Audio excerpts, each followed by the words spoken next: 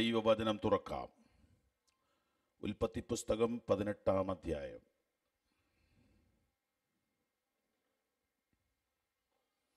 പതിനാറ് മുതൽ മുപ്പത്തിമൂന്ന് വരെയുള്ള വേദഭാഗത്ത് നിന്നാണ് ഇന്ന് രാത്രിയിൽ ദൈവം നമ്മോട് സംസാരിക്കുവാൻ പോകുന്നത്. നമുക്കതിനു മുൻപ് ആ പുസ്തകം തുറന്നു പിടിച്ചുകൊണ്ട് ഒരു ചെറിയ പ്രാർത്ഥന പ്രാർത്ഥിക്കാം. പ്രിയ കർത്താവെ ഈ വചനത്തിനായി അങ്ങേ ഞങ്ങൾ സ്തുതിക്കുന്നു. ഇത് ഞങ്ങളുടെ ഭാഷയിൽ ഞങ്ങൾക്ക് ലഭിച്ചതിനാൽ നന്ദി പറയുന്നു. കഴിഞ്ഞ കാലങ്ങളിൽ ഈ വചനത്താൽ ഞങ്ങളെ ജീവിപ്പിച്ചതിനെ ഞങ്ങൾ ഓർക്കുന്നു. ഞങ്ങളെ സൗഖ്യമാക്കിയതിനെ ഞങ്ങൾ ഓർക്കുന്നു. ഞങ്ങൾക്ക് രൂപാന്തരം വരുത്തിയതിനെ ഞങ്ങൾ ഓർക്കുന്നു. പിതാവേ ഇന്ന് ഞങ്ങളോട് സംസാരിച്ചുകൊണ്ടിരുന്നതിനാൽ നന്ദി പറയുന്നു. ഈ രാത്രിയിൽ തിരുവചനത്തിൽ എന്ത് ഞങ്ങളോട് സംസാരിക്കുന്നുവോ അത് സ്വീകരിപ്പാൻ ഞങ്ങൾ ഒരുക്കമാണ്. ഞങ്ങളതിനു വേണ്ടി ഞങ്ങളുടെ ഹൃദയത്തെ തുറക്കുന്നു. കർത്താവേ വചനത്തെ വചനമായി സ്വീകരിച്ച് അതിന്റെ വിടുതൽ അനുഭവിപ്പാൻ ഞങ്ങളോട് കരുണ ചെയ്യണമേ. യേശുവിന്റെ നാമത്തിൽ തന്നെ. ആമേൻ. മധ്യസ്ഥ പ്രാർത്ഥനയെക്കുറിച്ച് നിങ്ങളോട് സംസാരിപ്പാനാണ് കർത്താവ് എന്നെ ഭരമേൽപ്പിച്ചിരിക്കുന്നതെന്ന് ഞാൻ മനസ്സിലാക്കുന്നു. അതിനെക്കുറിച്ച് ഇന്ന് രാവിലെ അബ്രഹാമിന്റെ ജീവിതത്തിൽ നിന്ന് ഉള്ള അല്പചില കാര്യങ്ങൾ പറഞ്ഞു. അതൊരു മുഖവുര മാത്രമായിരുന്നു.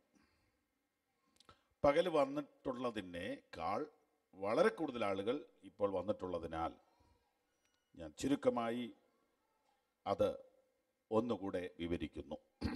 അബ്രഹാം എന്ന മനുഷ്യനെക്കുറിച്ച് നാം അറിയുമ്പോൾ അദ്ദേഹം വളരെ മാന്യനും ഉന്നത കുലജാതനും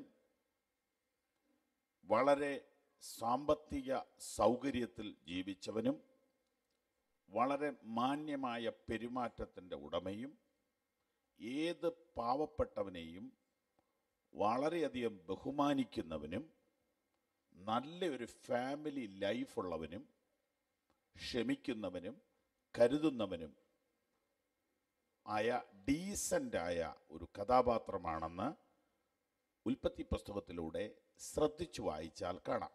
വിശേഷാൽ പതിനെട്ടാം അധ്യായം വായിക്കുമ്പോൾ അദ്ദേഹത്തിന്റെ ഫാമിലി സെറ്റപ്പും അദ്ദേഹത്തിന്റെ ഭാര്യയുടെ ക്യാരക്ടറും അദ്ദേഹത്തിന്റെ അതിഥി സൽക്കാരത്തിന്റെ മാന്യതയും വീട്ടിൽ വരുന്നവരെ റെസ്പെക്റ്റ് ചെയ്യുന്നതും വെൽക്കം ചെയ്യുന്നതുമൊക്കെ ശ്രദ്ധിച്ചാൽ ആ മനുഷ്യൻ എത്രയോ ശ്രേഷ്ഠനാണെന്ന് മനസ്സിലാവും.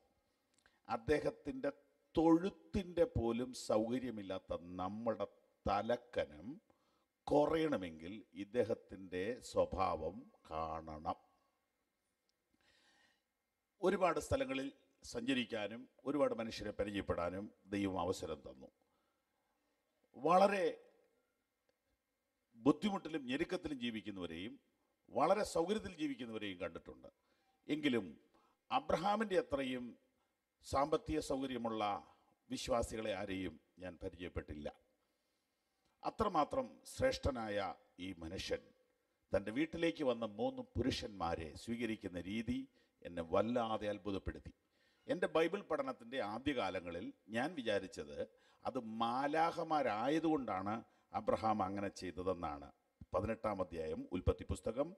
പതിനെട്ടാം അധ്യായം രണ്ട് മൂന്ന് നാല് വാക്യങ്ങളിൽ തന്റെ നേരെ വരുന്ന മൂന്ന് പുരുഷന്മാരെ കണ്ടിട്ട് അദ്ദേഹം ഓടിച്ചെന്ന് നിലം വരെ കുനിഞ്ഞ് വീട്ടിലേക്ക് സ്വീകരിച്ച് അവരെ ശുശ്രൂഷിക്കുന്ന രംഗം കണ്ടാൽ മാലാഹമാരായ കൊണ്ടായിരിക്കും എന്ന് ഞാൻ വിചാരിച്ചിരുന്നു.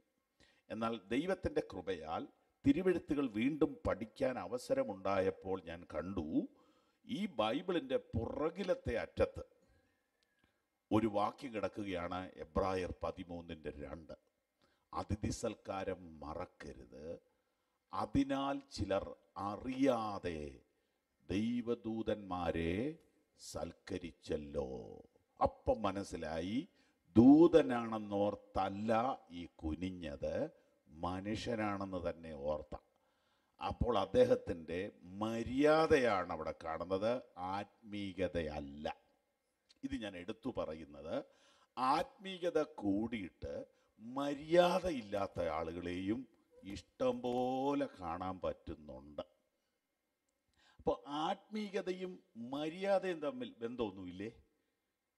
ബന്ധമില്ലെന്ന് നമ്മളെ തെറ്റിദ്ധരിപ്പിച്ചത് പിശാചാണ്. ആത്മീകതയിൽ നാം വളരുമ്പോൾ മര്യാദ ബഹുമാനം സ്വഭാവശുദ്ധി ഇതെല്ലാം വർദ്ധിച്ച് വർദ്ധിച്ച് വർദ്ധിച്ച് വരും. മറ്റുള്ളവരെ തന്നേക്കാൾ ശ്രേഷ്ഠനെന്ന് എണ്ണാൻ കഴിയാത്ത ആത്മീയത പൈശാചികമാണ് ആത്മീയതയല്ല ആകയാൽ പ്രിയപ്പെട്ടവരെ ഓരോ മീറ്റിംഗ് കഴിയും തോറും ഓരോ വചന ശുശ്രൂഷ കഴിയും തോറും നമ്മുടെ അഹങ്കാരം കുറയുകയും സൗമ്യത കൂടുകയും ചെയ്യട്ടെ അതിൽ ദൈവം സന്തോഷിക്കുന്നു. അങ്ങനെ അല്ലാത്ത പത്തോ ഇരുപതോ പേരെ കണ്ടാൽ അതിനെക്കുറിച്ച് ഭാരപ്പെടുകയോ അത് ജീവിതത്തിലേക്ക് പകർത്തുകയോ ചെയ്യണ്ട. ക്രിസ്തുവേശുവിലുള്ള ഭാവം തന്നെ നിങ്ങളിലും ഉണ്ടായിരിക്കട്ടെ. ഈ മനുഷ്യൻ ഈ ദൂതനെ സൽക്കരിച്ചപ്പോൾ അവരിൽ നിന്നൊരു നന്മ വരുമെന്ന് അദ്ദേഹം വിചാരിച്ചില്ല. ഒന്നുകൂടെ ഞാൻ പറയാം. മറ്റൊരാളിൽ നിന്ന് ഒരു നന്മയോ ലാഭമോ പ്രതീക്ഷിച്ചുകൊണ്ട് അവരെ സ്നേഹിക്കുന്നത് ബിസിനസ്സാണ്. മറ്റൊരാളിൽ നിന്ന് ഒരു നന്മയോ ലാഭമോ പ്രതീക്ഷിച്ചുകൊണ്ട് അവരെ പുകഴ്ത്തുന്നത് ബിസിനസ്സാണ്. മറ്റൊരാളിൽ നിന്ന് ഒരു നന്മയോ ലാഭമോ പ്രതീക്ഷിച്ചുകൊണ്ട് അവർക്ക് ഗിഫ്റ്റ് കൊടുക്കുന്നതും ബിസിനസ്സാണ്. എന്നാൽ നിനക്ക് തിരിച്ച് തരാൻ കഴിയാത്ത നിനക്ക് മടക്കി തരാൻ കഴിയാത്തളെ ബഹുമാനിക്കുകയും സ്നേഹിക്കുകയും ചെയ്യുമ്പോൾ സ്വർഗത്തിലെ ദൈവത്തിന് നീ കടം കൊടുക്കുകയാണ്. ഈ ദൂതന്മാർ ആണെന്ന് ധരിക്കാതെ ഇവരെ അബ്രഹാം സ്വീകരിച്ചപ്പോൾ ഇവരിൽ നിന്നൊരു പ്രത്യുപകാരം നാളെ തനിക്ക് കിട്ടും എന്ന് താൻ പ്രതീക്ഷിച്ചില്ല. ഈ വന്നവരുടെ നാട് ഈ വന്ന മൂന്ന് പുരുഷന്മാരുടെ നാട് ചൈനയാണെന്നിരിക്കട്ടെ. നാളെ അബ്രഹാം ചൈന വിസിറ്റ് ചെയ്യുമ്പോൾ ഇവരുടെ വീട്ടിലും കൂടി ഒന്ന് കയറാം എന്നോർത്തത് ചെയ്തതല്ല എന്ന് പറയാൻ ഞാൻ ആഗ്രഹിക്കുന്നു. തിരിച്ചെന്തെങ്കിലും കിട്ടുമെന്നോർത്ത് ചെയ്യുന്നത് ബിസിനസ്സാണ് ആത്മീയതയല്ല. അബ്രഹാം ഇവരെ ശുശ്രൂഷിക്കുമ്പോൾ ഇവരുടെ കയ്യിൽ അബ്രഹാമിന് വേണ്ടി ഒരു അനുഗ്രഹത്തിന്റെ പാക്കറ്റ് ഉണ്ടായിരുന്നു. അത് അബ്രഹാം അറിഞ്ഞിരുന്നില്ല. അബ്രഹാം അവരെ ശുശ്രൂഷിച്ച് തീർന്നപ്പോൾ ആ പൊതി അഴിച്ചു. അടുത്തയാണ്ടിൽ ഞാൻ ഇതുവഴി വരുമ്പോൾ നിന്റെ മുഴുവൻ തറവാടും കൂടെ വിറ്റാലും നിനക്ക് നേടാൻ കഴിയാത്തൊരു നന്മ നിന്റെ വീട്ടിലേക്ക് വരും എന്ന് ഈ മൂന്ന് പുരുഷന്മാർ പറഞ്ഞു. അത് ഓർത്തിട്ടല്ല അദ്ദേഹം അവരെ ബഹുമാനിച്ചത്. അവർ അവരെ താൻ ബഹുമാനിച്ചത് തന്റെ സ്വഭാവമായിരുന്നു. അത് തന്റെ അന്തസ്സായിരുന്നു. നമുക്ക് നമ്മുടെ സ്വഭാവത്തിൽ മാറ്റം വരുന്നില്ലെങ്കിൽ നമ്മൾ എന്തിനാ സഭ മാറുന്നേ? നമ്മൾ എന്തിനാ മതം മാറുന്നേ? സഭ മാറിയ മതം മാറിയ മാല മാറ്റിയ മീശ മാറ്റിയ ആഭരണം മാറ്റിയ നമുക്ക് സ്വഭാവത്തിൽ മാറ്റം വന്നില്ലെങ്കിൽ നമുക്കയ്യോ കഷ്ടം. സ്വഭാവത്തിൽ മാറ്റം വന്നില്ലെങ്കിൽ നമുക്കയ്യോ കഷ്ടം. ഒന്നുകൂടെ ഞാൻ ആവർത്തിച്ച് പറയുന്നു. മീശ മാറ്റിയ മാല മാറ്റിയ വേഷം മാറ്റിയ നമുക്ക് സ്വഭാവത്തിൽ മാറ്റം വന്നില്ലെങ്കിൽ നമ്മളെപ്പോലെ അരിഷ്ടരും കപടഭക്തരും ഉലകത്തിൽ വേറെയില്ല നാം ചിലതെല്ലാം മാറ്റിയെന്ന് പറയുകയും മറ്റുള്ളവരെ വെറുക്കുകയും ചെയ്യത്തക്കവണ്ണം കപടഭക്തി കൊണ്ട് നമ്മുടെ ഹൃദയം നിറഞ്ഞിരിക്കുന്നുവെങ്കിൽ പൊട്ടിക്കരയേണ്ട ദിവസങ്ങളാണ് നമ്മുടെ മുമ്പിലുള്ളത്. യഥാർത്ഥമായ മാനസാന്തരത്തിനായി ദൈവത്തിന്റെ ആത്മാവ് നമ്മെ ഈ ദിനങ്ങളിൽ വിളിക്കുന്നത് കേൾക്കാൻ നമുക്ക് കഴിയുമോ? മറ്റുള്ളവരെ വിധിക്കുവാനും മറ്റുള്ളവരെ വെറുക്കുവാനും തക്കവണ്ണം കപടഭക്തി കൊണ്ട് നിറഞ്ഞിരിക്കുന്ന ഒരു സമൂഹം വിശ്വാസികളുടെ ഇടയിൽ എഴുന്നേറ്റിട്ടുണ്ടെങ്കിൽ അതിനെക്കുറിച്ച് വേദനയോടെ കരയേണ്ട സമയമത്രേ നമ്മുടെ മുമ്പിൽ ഉള്ളത്. നാം പഠിപ്പിക്കുന്നതും പിതാക്കന്മാർ പഠിപ്പിച്ചതുമായ വേർപാടിന്റെ വ്യവസ്ഥകളെ ഞാൻ അംഗീകരിക്കുകയും പഠിപ്പിക്കുകയും ചെയ്യുമ്പോൾ തന്നെ ഈ മാറ്റത്തെക്കാൾ വലുതാണ് സ്വഭാവ മാറ്റം എന്ന് പറയാനും കൂടെ ഞാൻ എല്ലാ വേദിയും ഉപയോഗിക്കുന്നു. ഒന്നുകൂടെ പറയാം. പിതാക്കന്മാർ പഠിപ്പിച്ചതും നാം പാലിച്ചു വരുന്നതുമായ വിശുദ്ധിയുടെയും വേർപാടിന്റെയും ബാഹ്യമായ കാര്യങ്ങളെ ഞാൻ വിശ്വസിക്കുകയും പഠിപ്പിക്കുകയും ചെയ്യുമ്പോൾ തന്നെ സ്വഭാവ മാറ്റത്തെ അതിനേക്കാൾ പ്രധാനപ്പെട്ടതാണെന്ന് പറയുവാൻ കിട്ടുന്ന എല്ലാ വേദികളും ഉപയോഗിക്കുകയും ചെയ്യുന്നു. കാരണം ഒരു കൂട്ടം കപടഭക്തരെ വളർത്തുകയാണോ? കഴിഞ്ഞ നാളുകളിൽ നാം ചെയ്തത് എന്ന് ഗൗരവത്തിൽ ചിന്തിക്കുവാൻ ദൈവത്തിന്റെ ആത്മാവ് സംസാരിക്കുന്നു. അബ്രഹാം എത്ര ശ്രേഷ്ഠനായ മനുഷ്യൻ? അദ്ദേഹത്തിന് ദൈവത്തിൽ നിന്ന് ഇനി ഒന്നും കിട്ടാനില്ല. നമ്മുടെ വിഷയത്തിലേക്ക് വരുന്നു. അദ്ദേഹത്തിന് ഇനിയും ദൈവത്തിൽ നിന്നൊന്നും കിട്ടണ്ട. തന്റെ എല്ലാ പ്രാർത്ഥനയ്ക്കും മറുപടി കിട്ടിക്കഴിഞ്ഞു. എന്നാൽ അബ്രഹാം ഇപ്പോൾ പ്രാർത്ഥനയ്ക്കായിട്ട് നിൽക്കുകയാണ്. ഉൽപ്പത്തി പുസ്തകം പതിനെട്ടാം അധ്യായം ഇരുപത്തിരണ്ടാം വാക്യം. അങ്ങനെ ആ പുരുഷന്മാർ അവിടെ നിന്ന് തിരിഞ്ഞ് സോതോമിലേക്ക് പോയി. അബ്രഹാമോ യഹോവയുടെ സന്നദ്ധിയിൽ തന്നെ നിന്നു. വേദപുസ്തകം നമ്മൾ പഠിക്കുന്നത് എങ്ങനെയാ? വേദപുസ്തകം പഠിക്കുന്നത് ബൈബിൾ സ്കൂളിൽ പോയാ. ബൈബിൾ സ്കൂളിൽ പോയി പഠിക്കാൻ ആർക്ക് പറ്റും? ഇവിടെയൊക്കെ സൗകര്യങ്ങളോട് ഞാൻ ബോർഡ് എഴുതി വെച്ചിരിക്കുന്ന കണ്ടു. ഞാനൊരു എളുപ്പവഴി നിങ്ങളോട് പറയാം. ഏതെങ്കിലും ഒരു മീറ്റിങ്ങിന് പോയാൽ ആ മീറ്റിങ്ങിന്റെ സമയത്ത് ഏതായാലും വേറെ പരിപാടി ഒന്നും നടക്കത്തില്ലല്ലോ. ആ നേരത്ത് വേദോസം തുറക്കാമല്ലോ ആ പറഞ്ഞ ഭാഗം വായിക്കാമല്ലോ അത് ശ്രദ്ധിച്ചൊന്ന് കേൾക്കാമല്ലോ ആ നേരത്ത് നന്നായിട്ട് ശ്രദ്ധിക്കാമല്ലോ ശ്രദ്ധിച്ചിട്ട് വീട്ടിൽ ചെന്നിട്ട് അന്നും പിറ്റേ ദിവസമൊക്കെ അത് തന്നെ ഫാമിലി അങ്ങ് വായിക്കാമല്ലോ എന്നാൽ വേദോസം പഠിക്കാൻ എളുപ്പമായിരിക്കും എളുപ്പമായിരിക്കും ഇപ്പൊ പിന്നെ സൗകര്യ പ്രസംഗിക്കുന്ന അന്ന് തന്നെ കാസറ്റും കിട്ടും. അത് ഒന്നുകൂടി ഒന്ന് കേൾക്കുക. ഈ പറഞ്ഞതൊക്കെ നേരാണോ എന്ന് ഒന്നുകൂടെ നോക്കണം. ഇല്ലേ പുള്ളിയെ പിന്നെ വിളിക്കരുത്. സത്യങ്ങളായി പറയുന്നത് ഓക്കെ. അപ്പോൾ ദൈവത്തിന്റെ വചനം പഠിക്കാൻ ഏറ്റവും നല്ല മാർഗം അതത് ദിവസങ്ങളിൽ നിങ്ങൾക്ക് ദൈവം തരുന്ന ദൈവവചന ദൂതുകളെ ശ്രദ്ധയോടെ കേൾക്കുകയും വീണ്ടും അത് പഠിക്കാൻ ശ്രമിക്കുകയും ചെയ്താൽ നിങ്ങൾക്ക് വേഗത്തിൽ അത് പഠിക്കാൻ പറ്റും. സ്തോത്രം. നോക്കൂ. വാക്യം ഇരുപത്തിരണ്ട്. അങ്ങനെ ആ പുരുഷന്മാർ അവിടെ നിന്ന് തിരിഞ്ഞ് സോതോമിലേക്ക് പോയി. ഏത് പുരുഷന്മാർ? ഉൽപ്പത്തി പുസ്തകം പതിനെട്ടിന്റെ രണ്ട്. അവൻ തലപൊക്കി നോക്കിയപ്പോൾ മൂന്ന് പുരുഷന്മാർ തന്റെ നേരെ വരുന്നത് കണ്ടു. അപ്പോൾ അബ്രഹാമിന്റെ വീട്ടിൽ വന്ന മൂന്ന് പുരുഷന്മാർ അബ്രഹാമിന്റെ വീട്ടിൽ നിന്ന് പോകുന്നു. എങ്ങോട്ട്? സോതോമിലേക്ക്.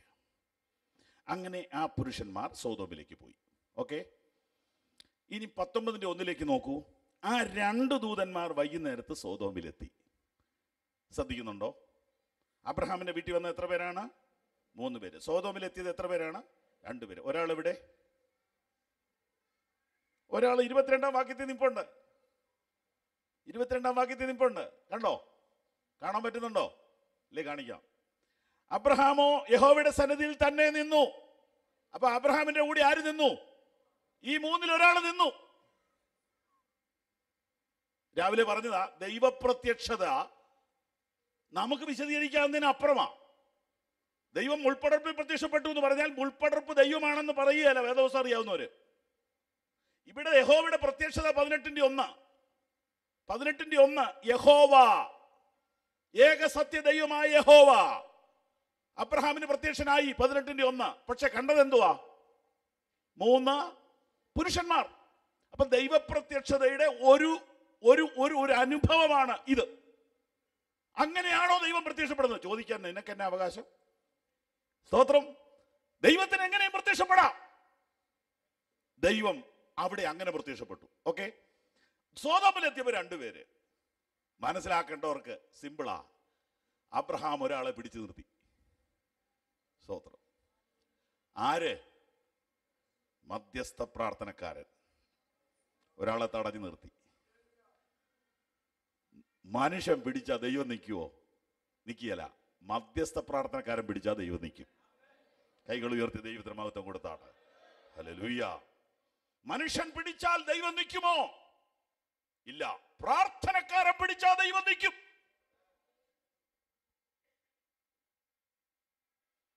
അതുകൊണ്ടൊരു ഭക്തൻ ഇങ്ങനെ എഴുതി വെച്ചു. പ്രപഞ്ചത്തെ ചലിപ്പിക്കുന്നവന്റെ കൈകളെ ചലിപ്പിക്കുന്നവനാണ് പ്രാർത്ഥനക്കാരൻ. മനസ്സിലായില്ലെങ്കിൽ എഴുതി വെച്ചോണം. പ്രപഞ്ചത്തെ ചലിപ്പിക്കുന്നവന്റെ കൈകളെ ചലിപ്പിക്കുന്നവനാണ് പ്രാർത്ഥനക്കാരൻ. പ്രപഞ്ചത്തെ നിയന്ത്രിക്കുന്നത് ദൈവം.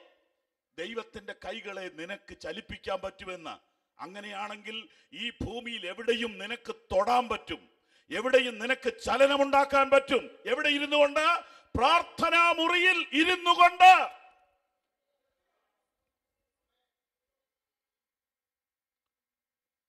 ഇപ്പോൾ ഇന്റർനെറ്റ് വന്നു റിമോട്ട് വന്നു. ഇതൊക്കെ ഭയങ്കര സാധ്യതകളാ. ഭയങ്കര സാധ്യതകളാ. ഭൂലോകമൊക്കെ സുവിശേഷം അറിയിക്കാൻ ഇപ്പൊ എന്ത് എളുപ്പ? ഞങ്ങളുടെ കൊച്ചു പിറവൻ ചർച്ച് കാണാൻ വരുന്നവര് പിറവൻ ചർച്ചിൽ ഞങ്ങളെ കാണാൻ വരുന്നവര് ആ ചർച്ചിന്റെ സൈഡ് റൂമിലോട്ട് ചുമ്മാ നോക്കുമ്പോൾ അവിടെ ഇതുപോലെ ഇതിന്റെയൊക്കെ പകുതി ഭംഗിയുള്ള ഒരു കർട്ടൻ തൂക്കിയിട്ടിട്ടുണ്ട്.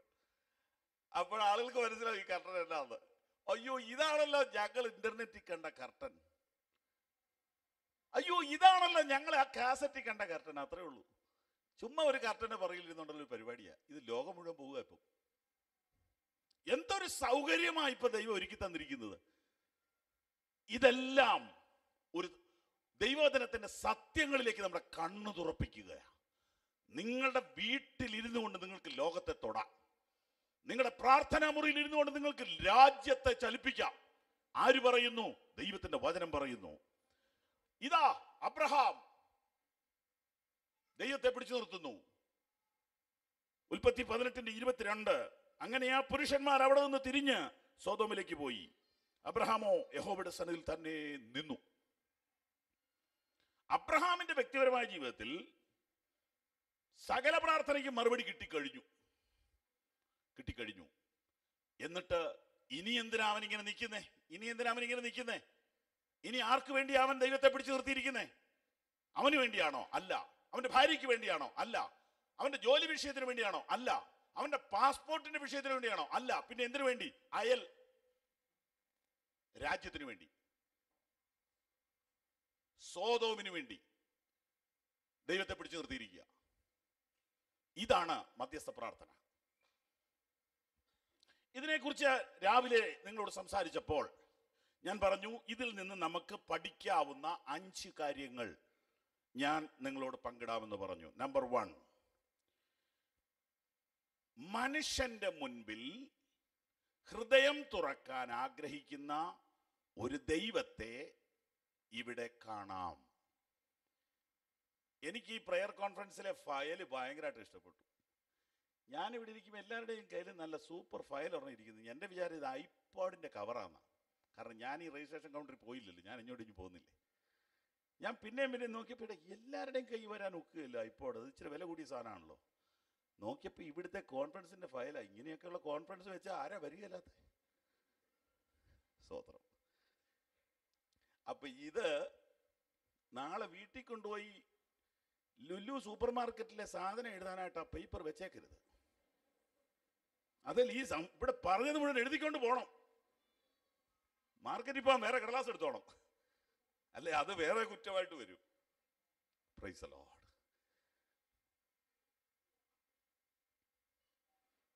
ഒന്നാമത്തെ കാര്യം എഴുതിയോ? മനുഷ്യന്റെ മുമ്പിൽ ഹൃദയം പകരുന്ന ഒരു ദൈവത്തെ ഇവിടെ കാണാം. ഏതാ വാക്യം? വാക്യം പതിനേഴ്.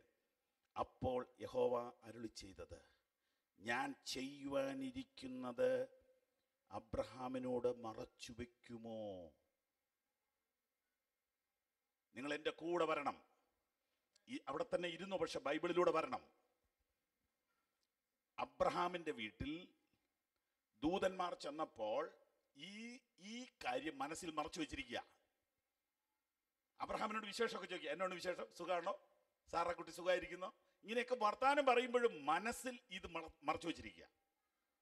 അബ്രഹാമിന്റെ വീട്ടിൽ സുഖം അന്വേഷിക്കാൻ വന്നതല്ല ഇവർ? സോതോമിന്റെ പരാതി സ്വർഗത്തിലെത്തിയിട്ട് നടപടിയെടുക്കാൻ വന്നതാ. രോഷാകുലനായി വന്ന ദൈവമാണ്. ഒരു ഗുരുതരമായ കുറ്റത്തിന് നടപടിയെടുക്കാൻ വന്നവനാണ്. എന്നാ വന്ന വഴി അതിന്റെ അടുത്ത സ്ഥലത്ത് താമസിക്കുന്ന അബ്രഹാമിൻ അതായത് ദൈവത്തിന്റെ സ്നേഹിതനായ അബ്രഹാമിനെ ജസ്റ്റ് ഒന്ന് കാണാതെ പോകാൻ ദൈവത്തിന് പറ്റത്തില്ല. എന്തൊരു ഹൃദയം ദൈവത്തിന്റെ ഹൃദയം. അതുകൊണ്ട് ജസ്റ്റ് അവിടെ ഒന്ന് കയറിയതേ ഉള്ളൂ. എന്നിട്ട് ഇത് പറയണ്ട എന്നോർത്ത് അവിടെ നിന്ന് ഇറങ്ങി. അവിടുത്തെ കാര്യം മാത്രം കൈകാര്യം ചെയ്ത് ഇറങ്ങി വഴി ചെന്നപ്പോൾ പറയുക അബ്രഹാമേ വീട്ടിൽ വെച്ച് പറഞ്ഞില്ലെന്നേ ഉള്ളൂ. യഥാർത്ഥത്തിൽ വേറൊരു കാര്യത്തിനാണ് എന്തിനാ വന്നേ? നിങ്ങളുടെ ഈ അയൽ സംസ്ഥാനം ഇല്ലേ? അവർ മഹാപെശക അബ്രഹാം ചോദിച്ചു എന്താ അവിടുത്തെ പ്രശ്നം? അവിടുത്തെ പ്രശ്നം എന്ന് പറഞ്ഞാൽ നമുക്ക് വീട്ടിൽ വെച്ച് പറയാൻ കൊള്ളുന്ന വിഷയമല്ല. അതുകൊണ്ടാണ് വീട്ടിൽ വെച്ച് പറയാൻ അത്ര മോശം കാര്യങ്ങൾ അവിടെ നടന്നുകൊണ്ടിരിക്കുന്നത്. സ്വർഗത്തിൽ ഇതിന്റെ നിലവിളി വരുന്നു. ഇതിനെക്കുറിച്ച് നടപടി എടുക്കാതിരിക്കാൻ പറ്റില്ല. സോതോമിലെ പാപം എന്താണെന്ന് അറിയണമെങ്കിൽ പത്തൊൻപതാം അധ്യായം വായിച്ചാൽ മതി. ഈ വഷളത്വം ഏത് തലമുറയിൽ വർദ്ധിച്ചാലും ദൈവിക ന്യായവിധി അടുക്കൽ തന്നെയെന്ന് അറിഞ്ഞുകൊള്ളുക. ഈ വഷളത്വം എവിടെയെല്ലാം വർദ്ധിച്ചാലും അവരെത്ര ധനികരായാലും അവരെത്ര സമ്പന്നരായാലും ദൈവത്തിന്റെ ന്യായവിധി ആ രാഷ്ട്രത്തിന്റെ മേൽ വരും നിശ്ചയം. വഴിവിട്ട ലൈംഗികതയാണ് സ്വതോമ്യ പാപം. അതിനെ പ്രോത്സാഹിപ്പിക്കുന്ന അത് തെറ്റല്ലെന്ന് വരുത്തി തീർക്കാൻ ശ്രമിക്കുന്ന ഒരു തലമുറയിലാണ് ഞാനും നിങ്ങൾ ജീവിക്കുന്നതെന്ന് ഒന്നുകൂടെ പറയാൻ ഞാൻ ഈ സമയം ഉപയോഗിക്കുന്നു. വിവാഹ മോചനം ഒരു നാടൻ സംഭവമായി തീരുന്നു.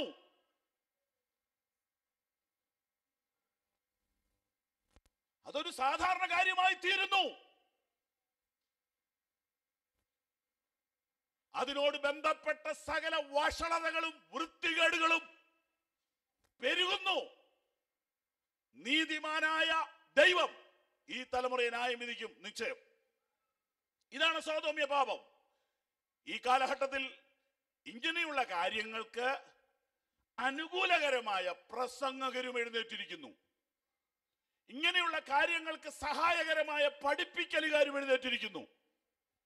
ക്രിസ്തു നമ്മുടെ കഴിഞ്ഞകാല പാപങ്ങൾക്ക് വേണ്ടി മാത്രമല്ല ഇപ്പോഴുള്ള പാപത്തിനു വേണ്ടിയും വരുവാനുള്ള പാപത്തിനു വേണ്ടി മരിച്ചിരിക്കുന്നു എന്നാണ് ആ പഠിപ്പിക്കൽ. എത്ര മനോഹരമായ പഠിപ്പിക്കലാണ്. അത് കുറച്ചുകൂടി ആഴത്തിൽ അവർ പഠിപ്പിച്ചു വരുമ്പോൾ ചെറുപ്പക്കാർ എഴുന്നേറ്റ് നിന്ന് ചാടും. ആ എത്ര സുഖം. നിങ്ങൾക്ക് എന്തും ചെയ്യാം. ക്രിസ്തു നിങ്ങൾക്ക് വേണ്ടി മരിച്ചിരിക്കുന്നു. അങ്ങനെ നിയമങ്ങളെ വ്യവസ്ഥകളെ കാറ്റിൽ പറത്തുന്ന ഉപദേഷ്ടാക്കളും പെരുകിയിരിക്കുന്നു. ഇതെല്ലാം കണ്ടിട്ട് ദൈവം തന്റെ പ്രമാണം മാറ്റുമോ? ഒരു നാളും ഇല്ല. സോതോമ്യ പാപം വളരെ ഭയങ്കരമായി. ദൈവം അതിനെതിരെ നടപടിയെടുക്കാൻ തീരുമാനിച്ചു. വാക്യം ഇരുപത്. പിന്നെ ഹോവ സോതോമിന്റെയും ഗോമോറയുടെയും നിലവിളി വലിയതും അവരുടെ പാപം അതികഠിനവുമാകുന്നു. ഞാൻ ചെന്ന് എന്റെ അടുക്കൽ വന്നെത്തിയ നിലവിളി പോലെ അവർ കേവലം പ്രവർത്തിച്ചിട്ടുണ്ടോ ഇല്ലയോ എന്ന് നോക്കി അറിയും എന്ന് അരുളി ചെയ്തു. എന്താ നമ്മൾ ഇതിന് മനസ്സിലാക്കേണ്ടത്? ദൈവത്തിന്റെ ഹൃദയത്തിൽ വേദന തട്ടി. ദൈവത്തിന്റെ ഹൃദയത്തിൽ ഭാരമുണ്ടായി. എന്തിന്? മനുഷ്യൻ പാപത്തിൽ ആയപ്പോൾ. ഇത്രയും മനസ്സിലായല്ലോ? ഏത് കുടുംബം പാപത്തിൽ വീണാലും നൊമ്പരപ്പെടുന്ന ഒരു ദൈവമുണ്ട്. ഏത് സഭ പാപത്തിൽ വീണാലും തകരുന്ന ഹൃദയമുള്ള ഒരു ദൈവമുണ്ട്. ഏത് രാഷ്ട്രം പാപത്തിൽ വീണാലും മുറിവേൽക്കുന്ന മനസ്സുള്ള ഒരു അപ്പൻ സ്വർഗത്തിൽ ഉണ്ട്. എന്ന് മാത്രമല്ല ദൈവത്തിന് അത് ഷെയർ ചെയ്യണം. ആരോട്? പ്രാർത്ഥിക്കുന്നവരോട്. മധ്യസ്ഥ ചെയ്യുന്നവരോട്. അപ്പോൾ ഈ ഭാഗത്തു നിന്നുള്ള ഒന്നാമത്തെ പാഠം ദൈവത്തിന് തന്റെ ഹൃദയം മനുഷ്യരോട് പകരാൻ ആഗ്രഹമുണ്ട്. പക്ഷേ എല്ലാരോടും പറയാനൊക്കത്തില്ല. നാടൻ മലയാളത്തിൽ ഞാൻ പറയുക. എല്ലാവരോടും എല്ലാ കാര്യവും പറയാൻ പറ്റുകയില്ല. പറ്റുമോ പറ്റില്ല. ദൈവത്തിന് തന്റെ ഹൃദയത്തിന്റെ ഭാരം പങ്കിടണമെങ്കിൽ ദൈവത്തിന് വേണ്ടി മാറ്റിവെക്കപ്പെട്ട ഹൃദയമുള്ളവരുണ്ടാവണം. ഉദാഹരണത്തിന് വേണ്ടി നമ്മൾ എടുത്തത് ഒന്ന് ശമുവൽ മൂന്നാണ്. ഒന്ന് ശമുവൽ മൂന്നാണ്. വ്യാപിപ്പിക്കുന്നില്ല പറയാം. ഏലി എന്ന ഒരു സീനിയർ പാസ്റ്റർ നമ്മുടെ ഭാഷയിൽ പറഞ്ഞാലല്ലേ പ്രയോജനമുള്ളൂ? ഏലി എന്ന ഒരു സീനിയർ പാസ്റ്റർ ദീർഘവർഷമായി ശുശ്രൂഷിക്കുന്ന ആ ചർച്ചിൽ ഒരു പുതിയ ബൈബിൾ സ്കൂൾ സ്റ്റുഡന്റ് വന്നു. പേര് ശമുവേൽ ഒരു അസോസിയേറ്റ് ആയിട്ട് അഡ്മിഷൻ കിട്ടി വന്നതാ. അവിടെ നിന്ന് ശുശ്രൂഷ പഠിക്കണം അമ്മയുടെ ആഗ്രഹമാണ് അമ്മ ഒരുപാട് കരഞ്ഞു കിട്ടിയ ഒരു കുഞ്ഞാ. ഈ കുഞ്ഞിനെ ദൈവവേലയിൽ വളർത്തണം എന്നുള്ള ആഗ്രഹത്തിലാ. അല്ലാതെ ഇപ്പൊ എവിടെയാ കൊണ്ടേ ആക്കുന്നത് സച്ചിൻ തെണ്ടുൽക്കറുടെ അവിടെ കൊണ്ട് വിടാൻ പറ്റുമോ ഇല്ല. പിന്നെ ഉള്ളിടത്തെ വിടാനേ പറ്റുള്ളൂ. ശുശ്രൂഷ കേന്ദ്രത്തിൽ നാക്കുക അല്ലാതെ ഇവിടെയാക്കും അപ്പം പോയപ്പോൾ പലരും പറഞ്ഞു കാണും അവിടെ കൊണ്ടുപോയിട്ട് ഒരു കാര്യമില്ല എന്റെ വല്യമ്മേ. ഇവിടെ ഇരുന്ന് വീട്ടിൽ ഇരുന്ന് പ്രാർത്ഥിച്ചാൽ അതിനേക്കാൾ കൃപ കിട്ടുമെന്ന് പറഞ്ഞു കാണും. പക്ഷേ അമ്മച്ചി അങ്ങനെയല്ല. അമ്മച്ചി ഒരു വ്യവസ്ഥയുള്ള അമ്മച്ചിയാണ് ഈ ഹന്നയെ കുറിച്ച് പഠിച്ചാൽ അതിന് തന്നെ ഇപ്പം സമയം അങ്ങ് പോകും. ഹന്ന ആലയത്തിൽ ചെന്ന് പ്രാർത്ഥിച്ചപ്പോൾ ഇതേ പുള്ളിക്കാരനായിരുന്നു ശുശ്രൂഷയിലുണ്ട് പുള്ളിക്കാരൻ ചെന്നിട്ട് തലേ കൈവച്ചിട്ട് പറഞ്ഞു നീ കള്ളു കുടിച്ചതാണെന്ന്. അത് വെളിപ്പാടിൽ നിന്നായിരിക്കുകയല്ല. ഊഹത്തിൽ നിന്നാണ് ഊഹം എങ്ങനെയാ വന്നേ? ഊഹം ഞാൻ പറയാം. എന്റെ ഊഹം പറയാം. പുള്ളിയുടെ വീട്ടിൽ ഈ ഈ സംഭവം ഉണ്ട് ലെവൽ തെറ്റി വർത്താനം പറയുന്ന പിള്ളേരുണ്ട്. അപ്പോൾ അറിയാൻ കുടിച്ച് കൂടിപ്പോയി എന്ന്. അപ്പൊ ഈ പുള്ളിക്കാരത്തി ഇങ്ങനെ ചുണ്ടനങ്ങുന്നു ശരീരം വിറയ്ക്കുന്നു. ഇത് ഇത് വെള്ളം തന്നെയാണ് അത് വെളിപ്പാടല്ല അനുഭവത്തിൽ നിന്നാണ് വെളിപ്പാട് പറയുന്നവർ എക്സ്പീരിയൻസ് കയറ്റരുത് അതിനിടയിൽ കയറ്റിയ കുഴയും. അങ്ങനെ പലരും പെട്ടിരിക്കുക ഊഹങ്ങൾ വെച്ച് പറയുക. പ്രൈസലോ. പറഞ്ഞില്ലേലും കുഴപ്പമില്ല. വെളിപ്പാട് കൺഫേം ആണെങ്കിലേ പറയാവുള്ളൂ. സ്തോത്രം. പറയുന്ന കേട്ടാ തോന്നുന്നു ഇത് കറക്റ്റ് വെളിപ്പെട്ടിട്ട് പറയുക. നിന്റെ വീഞ്ഞ് ഇറങ്ങട്ടെ എന്ന് പറഞ്ഞ് പ്രാർത്ഥിച്ച അങ്ങ് വലിയ പ്രശ്നം ഉണ്ടാക്കി. ഞാൻ ചോദിക്കുന്നത് ആ അമ്മച്ചിയുടെ സ്ഥാനത്ത് നിങ്ങളാണെങ്കിൽ പുതിയൊരു സഭ തുടങ്ങുകയില്ലേ? ഒരു റൂം വർഷിപ്പ് സെന്ററിൽ കിട്ടുമോ എന്നുള്ളതാ പിന്നത്തെ നോട്ടം. കാരണം ഇത് പീഡനം അനുഭവിക്കുന്ന പല സ്ത്രീകൾ അവിടെ കാണും. പല പുരുഷന്മാരവിടെ കാണും. ഇത് രണ്ടുമൂന്ന് പേരോടൊന്ന് ഫോൺ വിളിച്ച് പറഞ്ഞാൽ മതി ഒരു സവർ റെഡി ഉദ്ഘാടനത്തിന് ആളെ കണ്ടുപിടിച്ചാൽ മതി. പക്ഷേ അമ്മാമ്മ വേറെ സഭ തുടങ്ങിയില്ല. ഇതിപ്പോ നിലവിലുള്ളത് ദൈവം ആക്കിയതാ. ദൈവം തന്നെ മാറ്റിക്കോളൂ എന്നൊരു എന്നൊരു വെളിപ്പാട് തനിക്ക് കിട്ടി. സ്വത്രം നിങ്ങളെ ദൈവമാക്കിയിരിക്കുന്ന സ്ഥലത്ത് മാക്സിമം വിധേയപ്പെട്ട് നിൽക്കുക. ദൈവത്തിന് സ്ഥിതിക്ക് മാറ്റം വരുത്താൻ കഴിയും. ദൈവത്തിന് സ്ഥിതിക്ക് മാറ്റം വരുത്താൻ കഴിയും. സ്തോത്രം. നോക്കൂ എത്ര മനോഹരമായ ചിത്രം. അതേ പുരോഹിതൻ ജീവിച്ചിരിക്കുന്ന ആലയത്തിൽ കൊണ്ടുവന്ന് ഈ കൊച്ചിനെ ആക്കി. അപ്പൊ എന്റെ തലേ കൈവച്ച് മദ്യമാണെന്ന് പറഞ്ഞ ആളുടെ അടുത്ത് ഈ കൊച്ചിനെ ഇനി വിടാവോ? ഓ അതൊക്കെ ഭയങ്കരമാ പഠിക്കേണ്ട കാര്യമാ. അവിടെ കൊണ്ടുവന്ന് വിട്ടു. ആ കൊച്ചൻ അവിടെ എത്തിയ അന്ന് തന്നെ ദൈവം അവനെ വിളിച്ചു. ഞാൻ എന്റെ നാടൻ ഭാഷ പറയാ ദൈവം ഇങ്ങനെ ശ്വാസം മുട്ടി നിൽക്കുകയായിരുന്നു. ഇതൊന്ന് പറയാൻ എന്റെ വിഷയം അല്ലെങ്കിൽ ദൈവത്തിന്റെ ദൂത് ദൈവത്തിന് തന്നെ ഹൃദയ നൊമ്പരങ്ങൾ പങ്കിടാൻ ആൾ വേണം. പക്ഷെ എല്ലാവരോടും പറയാൻ പറ്റൂല. ഈ കൊച്ചൻ വന്ന അന്ന് ദൈവം മനസ്സ് തുറന്നു. എന്തെല്ലാമാ പറഞ്ഞെന്നറിയാവോ? പറഞ്ഞു തുടങ്ങിയത് ഞാനൊരു കാര്യം ചെയ്യും. അത് കേൾക്കുന്നവനെ ചെവി മുഴങ്ങും എന്ന് പറഞ്ഞ് ഈ കൊച്ചിനോടാ ഒരു ഒരു കൊച്ചിനോടാ ഈ പറയുന്നേ. പ്രായം ദൈവത്തിന് വിഷയമല്ല കേട്ടോ. പാരമ്പര്യം ദൈവത്തിന് വിഷയമല്ല കേട്ടോ. സമർപ്പിക്കപ്പെട്ട ഒരു ഹൃദയമുണ്ടെങ്കിൽ ഏൽപ്പിച്ച ഏൽപ്പിക്കപ്പെടുന്ന ഒരു യൗവനക്കാരനുണ്ടെങ്കിൽ ഇന്ന് രാത്രിയിലും ദൈവം തന്റെ ഹൃദയം പകരാൻ ഒരുങ്ങി വന്നിരിക്കുക.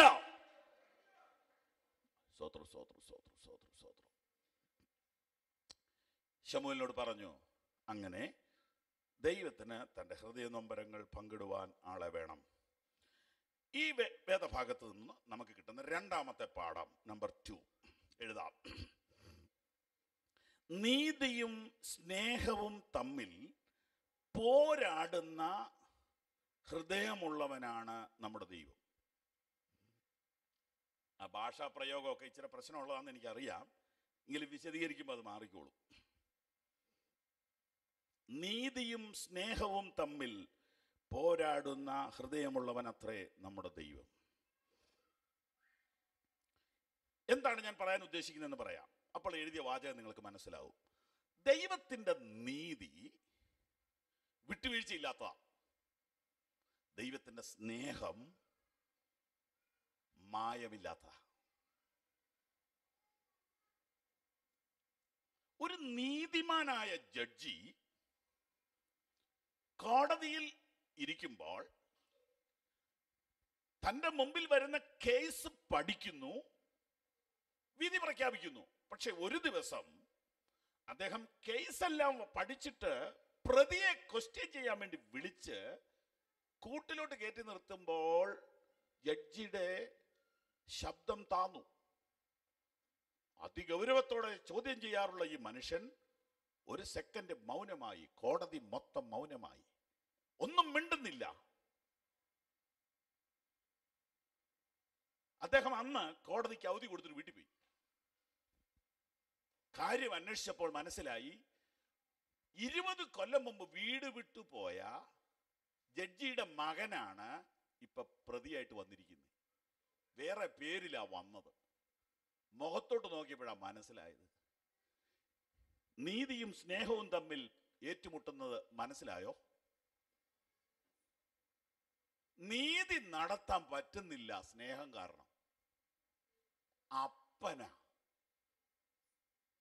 തൂക്കിക്കൊല്ലേണ്ട വിധി കൊടുക്കാൻ എങ്ങനെ പറ്റും? ഇതാണ് അപ്പന്റെ ഹൃദയം.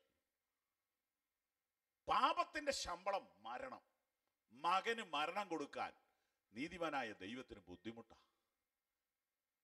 ദൈവം അതിന് കണ്ടെത്തിയ മാർഗമാണ് തന്റെ ഏകജാതനായ പുത്രനെ നാം അവനാൽ ജീവിക്കേണ്ടതിന് നമുക്ക് വേണ്ടി പ്രായച്ചിത്തമാകുവാൻ അയച്ചത്.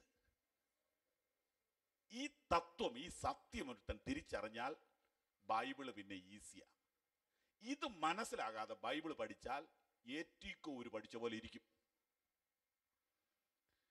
ഇത് പഠിക്കണമെങ്കിൽ ദൈവത്തിന്റെ കൃപയില്ലാതെ പറ്റത്തില്ല. അതുകൊണ്ട് ബുദ്ധിക്ക് വേണ്ടി പഠിക്കാതെ ഒരു ആത്മനിറവിന് വേണ്ടി പഠിക്കുക. വെളിപ്പാടിലൂടെ ദൈവദിനം ഗ്രഹിക്കാൻ വേണ്ടി പ്രാർത്ഥിക്കുക. എന്താ നാം ചിന്തിച്ചു വരുന്നത്? നീതിയും സ്നേഹവും തമ്മിൽ പോരാടുന്ന ഏറ്റുമുട്ടുന്ന ഒരു ഹൃദയമുള്ള ഒരു ദൈവത്തെ ഇവിടെ കാണാം. നോക്കൂ. ഒന്ന് അതിനകത്ത് മൂന്ന് കാര്യം ഞാൻ പറയാം. ഒന്ന് പാപത്തോട് കോംപ്രമൈസ് ചെയ്യാൻ നീതിമാനായ ദൈവത്തിന് കഴിയുകയില്ല. ബി അല്ലെങ്കിൽ രണ്ട്. അതിൽ തന്നെ ബി. പാപിയെ ശിക്ഷിക്കാൻ സ്നേഹവാനായ ദൈവത്തിന് കഴിയുകയില്ല. സി. അതുകൊണ്ട് അവനൊരു മധ്യസ്ഥനെ തിരയുന്നു. ഒന്ന് വായിക്കാമോ? ഉറക്കെ വായിക്കാൻ കഴിയുന്ന ആരെങ്കിലും ഒന്ന് എടുത്ത് വായിക്കാമോ? എസക്കിയൽ മുപ്പത്തി മൂന്ന് പതിനൊന്ന്. ആ. ദുഷ്ടന്റെ മരണത്തിലല്ല ദുഷ്ടൻ തന്റെ വഴി വിട്ടുതിരിഞ്ഞ് ജീവിക്കുന്നതിലത്രേ എനിക്കിഷ്ടമുള്ളത് ദുഷ്ടൻ പാവി. അവനെ ന്യായം വിധിക്കാൻ എനിക്ക് ഇഷ്ടമല്ലെന്ന് അവൻ മരിക്കുന്നതിന്റെ തലേ ദിവസമെങ്കിലും മാനസാന്തരപ്പെടുന്നതാണ് എനിക്കിഷ്ടം. ഇത് നിങ്ങൾ വിശ്വസിക്കുന്നുണ്ടോ? ദുബായിലുള്ള ദുഷ്ടനെ കുറിച്ചും അത് തന്നെയാണ് ദൈവത്തിന്റെ ഇഷ്ടം. യു എയിലുള്ള ദുഷ്ടനെ കുറിച്ച് ദൈവത്തിന്റെ ഇഷ്ടം അതാ. ചൈനയിലുള്ള ഇന്തോനേഷ്യയിലുള്ള അമേരിക്കയിലുള്ള രാജസ്ഥാനിലുള്ള ബീഹാറിലുള്ള കേരളത്തിലുള്ള ദുഷ്ടനെ കുറിച്ച് ദൈവത്തിന്റെ ഇഷ്ടാവ്. അപ്പൊ പാപിയെ നരകത്തിലിടാൻ വേണ്ടി ഇങ്ങനെ നരകത്തിന് തീയും കൂട്ടിയിരിക്കുന്ന ഒരു ദൈവമല്ല ബൈബിളിലെ. പാപിയെ നരകത്തിലിടാൻ നരകത്തിന്റെ വലിപ്പം ഇങ്ങനെ കൂട്ടി കൂട്ടി ആ കൂടുതൽ പാപികൾ വരട്ടെ. ആ കുറച്ച് പാപികൾ കൊണ്ട് വരട്ടെ. നരകച്ചൂടെ വലുതാക്കാം. അങ്ങനെ ഇരിക്കുന്ന ഒരു ദൈവമല്ല. നരകം മനുഷ്യന് വേണ്ടിയുള്ളതല്ല. അയ്യോ പിന്നെ ആർക്ക് വേണ്ടിയുള്ളതാ? ഈ കോളേജ് പിള്ളേരോട് സൂചന പറയുമ്പോൾ അവർ പറയുന്ന ഒരു തമാശ ഉണ്ട് എന്റെ പാസ്റ്ററേ നരകം കാലി കിടന്ന മോശമല്ലേ? ഞങ്ങൾ കുറച്ച് പേര് അങ്ങോട്ട് പൊയ്ക്കോളാം. ഞങ്ങളൊരു ഗിറ്റാറും ഒക്കെ ആയിട്ട് അതിൽ നടന്നോളാം. അവിടെയും പാട്ടുണ്ടല്ലോ. പിശാജിന്റെ ഉണ്ട് ഈ പരിപാടി.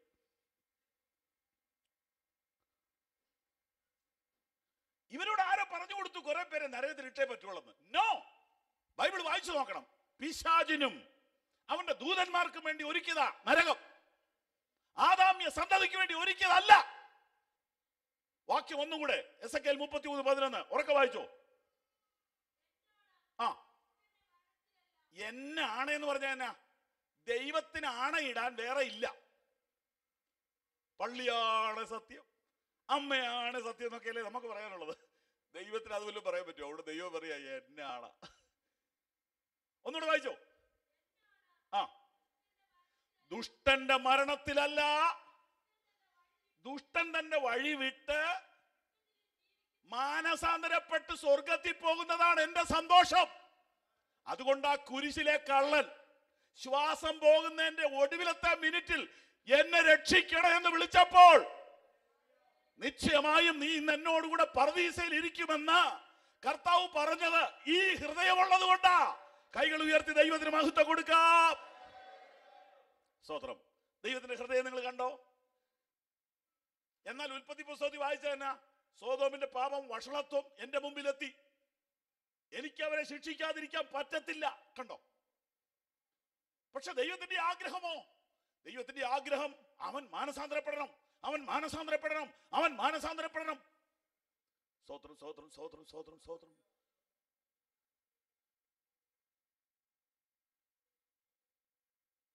ജയിലിലേക്ക് പോകുന്നതാണല്ലോ ഏറ്റവും വലിയ അവസ്ഥ ഒരു മനുഷ്യന്റെ ജീവിതത്തിൽ ജയിലിലേക്ക് ഒരുത്തം പോകുമ്പോഴും ദൈവം നമ്പുരാൻ ഒരു സുവിശേഷനെ ജയിലിലോട്ട് വിടുക. കാരണം നശിക്കാൻ ദൈവം ആഗ്രഹിക്കുന്നില്ല. ഇവിടുത്തെ ഗവൺമെന്റ് ഒരുത്തനെ നന്നാക്കാൻ നോക്കിയിട്ട് പറ്റാതെ വരുമ്പോൾ ജയിലിലോട്ട് വിടുക. ദൈവം നമ്പുരാൻ ജയിലിലോട്ട് സുവിശേഷകനെ വിടുക. അവനെ അവിടെ വെച്ചെങ്കിലും രക്ഷയിലേക്ക് നയിക്കണം. സ്തോത്രം. സ്തോത്രം. ദുഷ്ടന്റെ മരണത്തിൽ ഇഷ്ടമില്ലാത്തൊരു ദൈവം. പാവിയുടെ മരണത്തിൽ ഇഷ്ടമില്ലാത്തൊരു ദൈവം. അവൻ ഒടുവിലത്തെ നിമിഷത്തിലെങ്കിലും മാനസാന്തരപ്പെട്ട് നിത്യജീവനിൽ എത്തണമെന്ന് ആഗ്രഹിക്കുന്ന ഒരു ദൈവം. ദൈവത്തിന്റെ ഹൃദയം നിങ്ങൾക്ക് ഇവിടെ കാണാം. നീതിയും സ്നേഹവും ഒരുപോലെ ദൈവത്തിന്റെ അകത്തുണ്ട്. ദുഷ്ടന്റെ മരണത്തിൽ ഞാൻ ഇഷ്ടപ്പെടുന്നില്ല. എസ് എക്കൽ ഇരുപത്തിരണ്ട് മുപ്പതും കൂടെ ഒന്ന് ഉറക്കെ വായിച്ചേരെ ഇരുപത്തിരണ്ട് മുപ്പത്. ഇരുപത്തിരണ്ട് ആ. ആ.